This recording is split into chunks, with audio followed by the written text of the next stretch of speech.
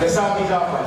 Pokračujeme v eh, MMA pravidlech a podle plných pravidel nám jako první nastoupí do příštího zápasu a do modrého rohu reprezentant Rangers týmu MMA Tomáš Kaleška.